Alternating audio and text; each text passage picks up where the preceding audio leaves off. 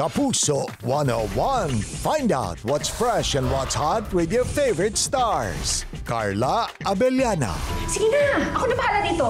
Carla is one of the country's most talented and beloved actresses. Is that a trick question? Parang labada lang yan sa washing machine. Kailangan hintayin mong matapos umikot para mawala lahat ng mancha.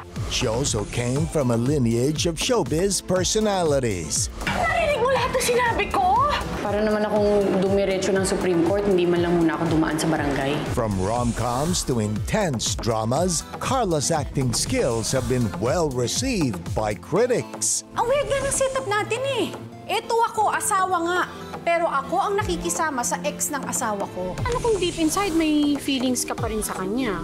resulting in numerous prestigious acting awards. Wala nang hihigit pa sa sakit na dinulot ninyong dalawa sa akin. Sana pinatay niyo na lang ako. Sana nga pinatay ka na lang namin. Well, sorry.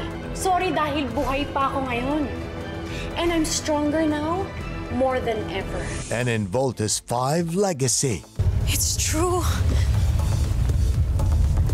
Aliens nga. Ano nga bang pangalan mo, Mr. Alien? she's going to portray the iconic Marianne Armstrong.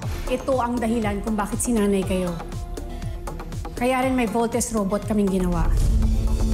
Dahil matagal na naming alam na dadating ang mga alien invaders na to.